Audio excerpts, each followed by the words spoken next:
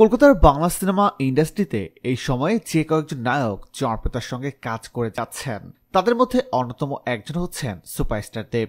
সিনেমায় অভিনয়ের পাশাপাশি বর্তমান সময়ে নিয়মিত সিনেমা প্রযোজনায়ও মনোযোগ দিয়েছেন এই অভিনেতা। টলিউড ইন্ডাস্ট্রিতে দেবের প্রথম পথ চলা শুরু হয় দুই হাজার পাঁচ সালে। কেরিয়ারের প্রথম সিনেমা ফ্লপ হলেও দমে যাননি তিনি।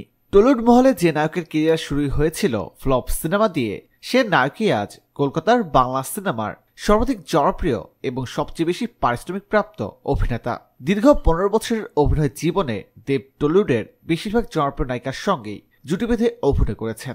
টলিউডের জনপ্রিয় নায়িকা কোয়েল শ্রাবন্তী শুভশ্রী এবং পায়েল সরকারের সঙ্গে জুটি বেঁধে অভিনয় করেছেন সুপারস্টার দেব। এছাড়াও কলকাতার অন্যান্য জনপ্রিয় নায়িকাদের বিপরীতে দেখা গেছে তাকে। সফলতার পথে যতই বাধা আসুক না কেন, কিছুতেই পিছু হটেন না সুপারস্টার দেব। যদি কেরিয়ারের প্রথম সিনেমা ফ্লপ হবার পর দেব পিছিয়ে যেতেন, তাহলে তিনি কখনোই আজকের অবস্থানে আসতে পারতেন না। বর্তমানে দুই বাংলাতেই তুমুল জনপ্রিয় এই অভিনেতা। পারিশ্রমিকের অঙ্কেও তিনি দুই বাংলার জনপ্রিয় তারকাদের চেয়ে অনেক এগিয়ে রয়েছেন। নায়কদের পারিশ্রমিক কখনো ফিক্স থাকে না। তেমনিভাবে দেবের পারিশ্রমিকও ফিক্সড নয়। কোনো ছবিতে দেব বেশি, আবার কোনো কোনো ছবিতে কিছুটা কম পারিশ্রমিক নিয়ে থাকেন তিনি। টলিউড সূত্রের খবর, বর্তমানে প্রতিটি সিনেমায় অভিনয় করার জন্য তিনি এক কোটি থেকে এক কোটি বিশ লাখ পর্যন্ত পারিশ্রমিক নিয়ে থাকেন। তবে কিছু কিছু ছবির ক্ষেত্রে নায়ক দেব আশি থেকে নব্বই লাখ রুপির মতো পারিশ্রমিক নিয়ে থাকেন। তো প্রিয় দর্শক, নায়ক দেবের অভিনয় আপনাদের কাছে কেমন লাগে?